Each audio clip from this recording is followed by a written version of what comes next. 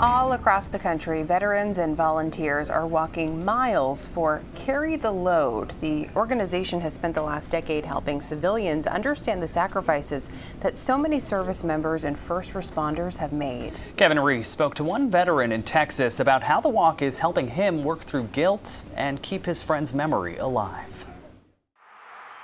Allen has been the epicenter of grief this month.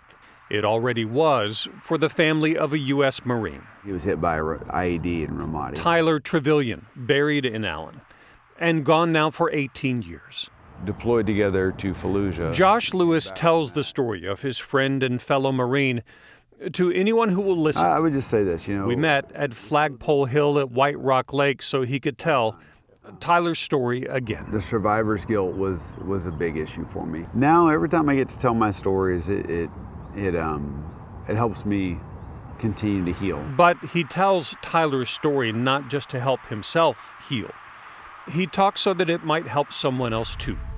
Josh Lewis is an ambassador for Carry the Load for a dozen years now, reminding people what Memorial Day is really about. And in those years, CTL amassing a network of nonprofits dedicated to helping veterans and their families. Another thing we say around Carry the Load is, is you have two deaths.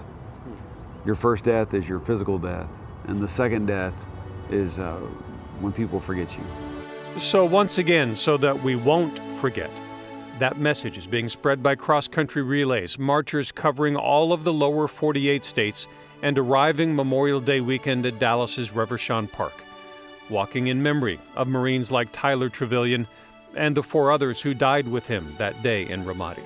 Marines Jesse Jamie, Chad Maynard, Jonathan Flores, and Dion Whiteley. So I still have my down days.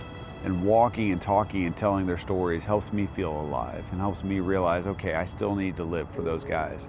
The reality is, Tyler died, and he doesn't want me to live in sorrow for him. He wants me to live in honor of him. And the invitation from Carry the Load is that the rest of us do the same, especially this month, in a place like Allen, so that names, sacrifices, and service live on in Allen. I'm Kevin Reece.